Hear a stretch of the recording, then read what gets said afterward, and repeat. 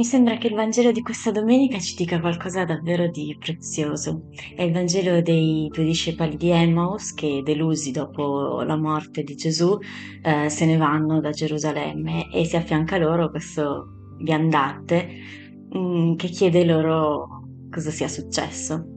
E loro non lo riconoscono. Gesù si avvicina a loro, loro sono tristi perché lui è morto e loro non lo riconoscono. E, e questa cosa, e il Vangelo ci dice proprio che i loro occhi erano incapaci di riconoscerlo.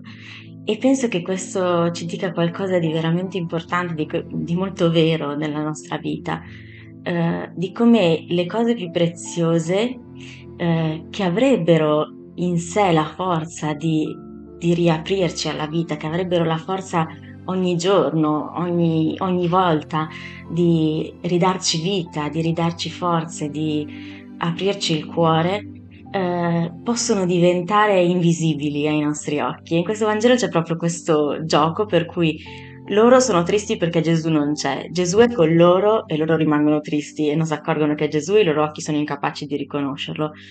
Poi pian piano Gesù spiega loro le scritture, spezza il pane davanti a loro, i loro occhi si aprirono, lo riconoscono, lui sparì dalla loro vista e loro vanno pieni di gioia dai discepoli ad annunciare quello che gli era successo.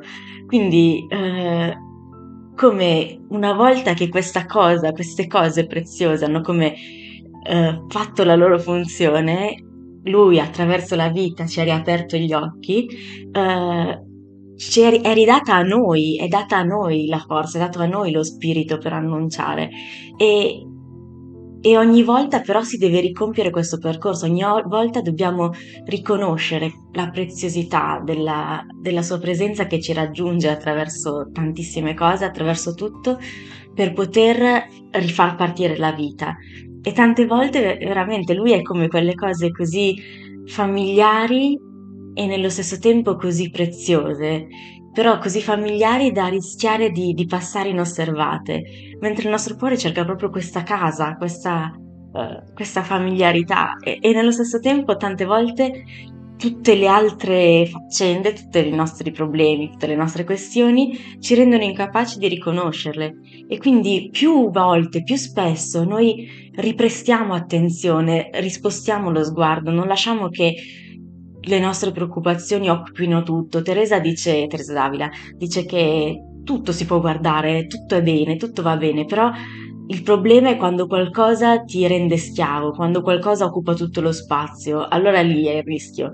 E, e quindi ogni volta che ci rendiamo conto che c'è qualcosa che occupa tutto lo spazio, metterlo giù e, e rimetterci ad ascoltare, rimetterci a guardare tutte quelle cose preziose che ci sono di fianco, che abbiamo davanti agli occhi, che camminano con noi e lasciare che ci riaprano la vita, che ci facciano riscoprire la vita.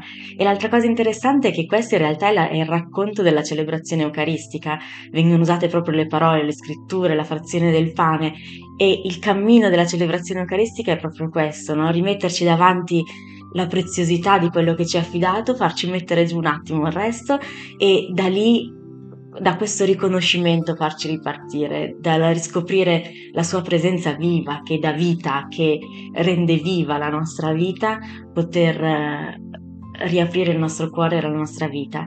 E, e, l'Eucaristia ci insegna questo cammino che, che, può succedere dentro ogni giorno, che può succedere dentro ogni cosa, riscoprire la sua presenza nella realtà che dà vita alla nostra vita. Buon, buona riscoperta, buona apertura degli occhi e buon cammino. Ciao!